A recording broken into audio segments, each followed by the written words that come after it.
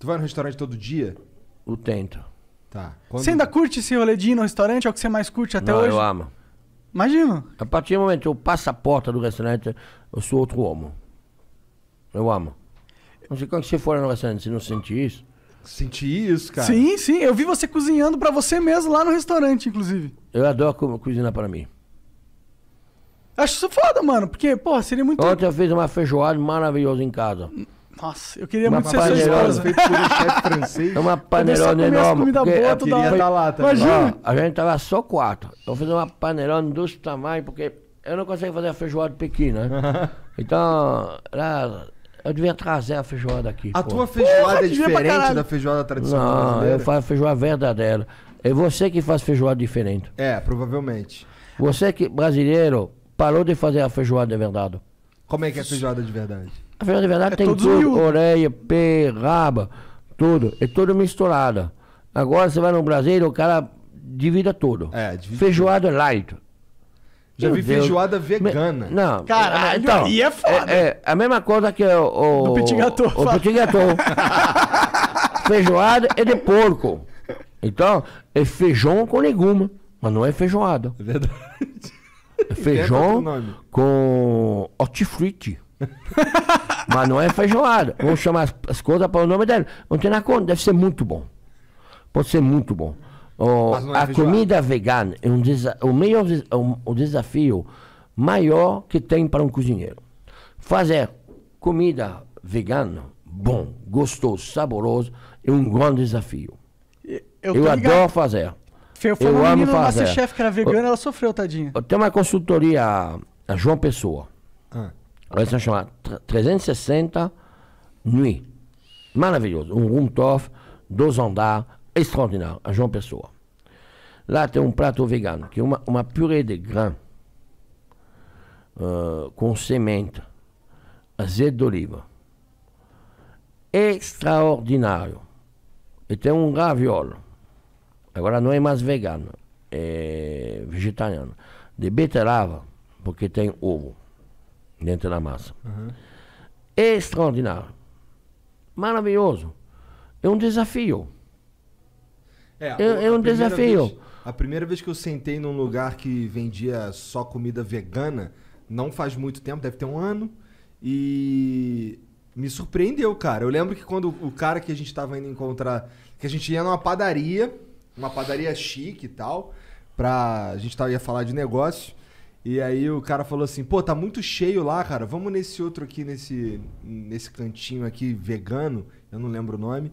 E aí lá eu comi uma, uma torta de cogumelo, não é? Ah, assim. sim, tava boa pra E caramba. um sorvetão lá diferente também, vegano. É, é. Gostoso, que eu fiquei assim, caraca.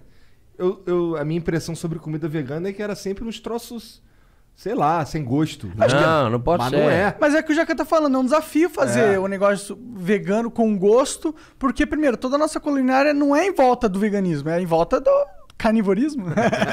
Não, tem, tem, tem comida vegana muito bom.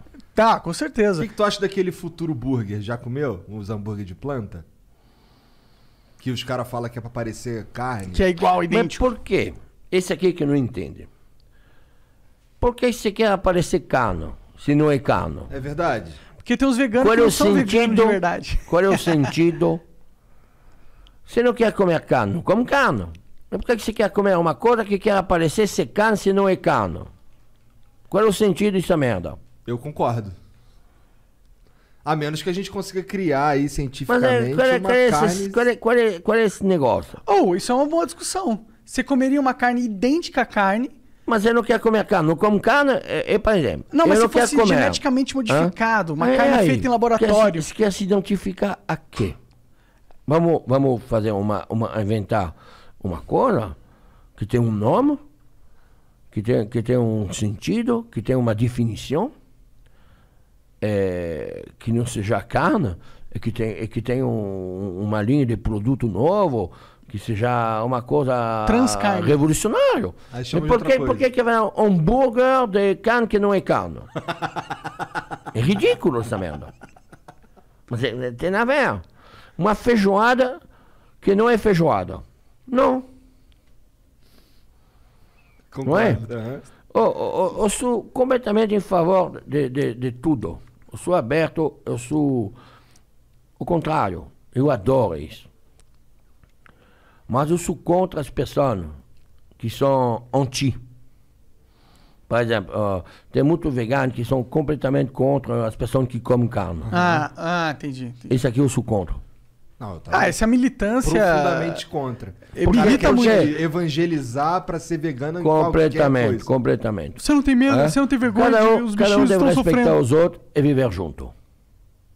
Com É, certeza. E é tipo, me irrita um pouco esse argumento do veganismo quando é tipo, os bichinhos estão sofrendo, no sentido de, pô, você põe ele na natureza, você acha que ele vai morrer de velhice? Não, ele vai ser comido por um predador.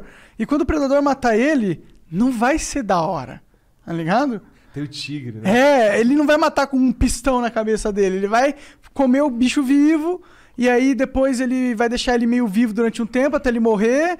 E aí vai comer a carcaça dele. A vida real é essa porra. Agora, tem gente que vive no mundo da, da Disney, que acha que tudo chega na prateleira em plas- plastificatinho, veio lá do quintal da sogra do cara, não é possível. Me deixa um pouco incomodado esse argumento. Mas eu, tem o outro argumento que aí faz sentido, que a gente está chegando num ápice de espaço na Terra para fazer pecuária. Né? Onde é que ele vai? Mijar. Pode mijar, inclusive, se quiser, durante. É, Ah, é? é, a- E nem pediu autorização, nada. verdade, né, cara? Tá vacilando. Mas o que, que você acha desse. é, Porque eles falam assim, que a gente tá chegando num momento onde a população tá muito grande e não tem espaço para fazer carne para todo mundo, e isso aí tende a crescer.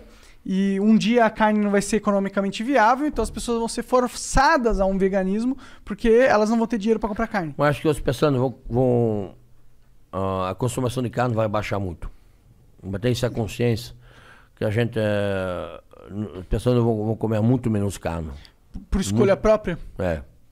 Você acredita a nisso? própria saúde, a própria vida. eh, ninguém vai parar de comer, mas vai comer muito menos. Eu sou um pouco cético nesse sentido, para ser sincero. Primeira coisa por preço também, né? É, se for pelo preço, eu sei que eles vão comer muito menos porque eles não vão ter escolha, né? Por Mas preço. eu acho que por desejo, a humanidade gosta de carne. Eu não acho que os seres humanos... é, o gosto pela carne está caindo, tá ficando impopular. A carne está ficando impopular? Eu não vejo isso.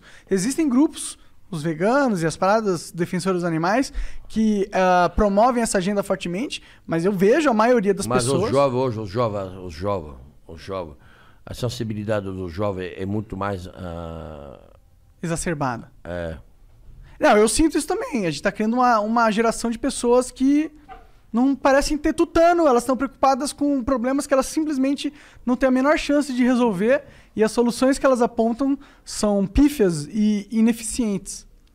Né? se perder o sapato, É, eu ando descalço, cara. Geralmente eu aqui sem camisa. Hoje, por acaso, eu vim de camisa. sério? Eu chego, Sim. boto camisa só pra fazer o, o- o flow. Ah, é? É. Cara, seguinte, ó. Muito obrigado por vir trocar essa ideia com a gente, mas já estão puxando minha orelha aqui falando que tu tem que ir embora.